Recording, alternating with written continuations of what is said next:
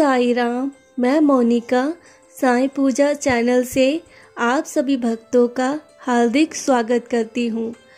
मेरे प्यारे बच्चों, हमारे जीवन में बहुत सारी भावनाएँ होती हैं, जैसे प्रेम क्षमा भाव दोस्ती, सहानुभूति, उनमें से हमारे बहुत से संबंध होते हैं। माता पिता भाई बहन पति पत्नी मित्र ये सब संबंध हमारे जीवन में अलग अलग रूप में आते हैं।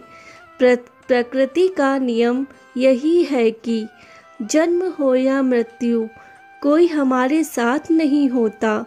तब तुम क्यों किसी से घृणा करते हो? सबसे प्रेम भाव रखो मिलजुल कर रहो अच्छे कर्म करो। आप अच्छे कर्म करोगे तो भगवान भी आपके साथ हैं। भगवान आपके साथ हैं तो आपकी हर पूजा स्वीकार होगी।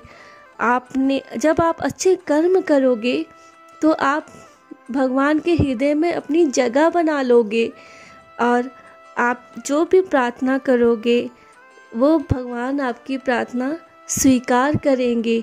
आपकी हर पूजा स्वीकार करेंगे। तो अच्छे कर्म कीजिए, सबसे मिलजुल कर रहिए। ईर्षा भाव बिल्कुल भी मत रखिए, सबसे मिलजुल के रहिए। आपकी हर प्रार्थना स्वीकार होगी। ओम साई राम जय साई राम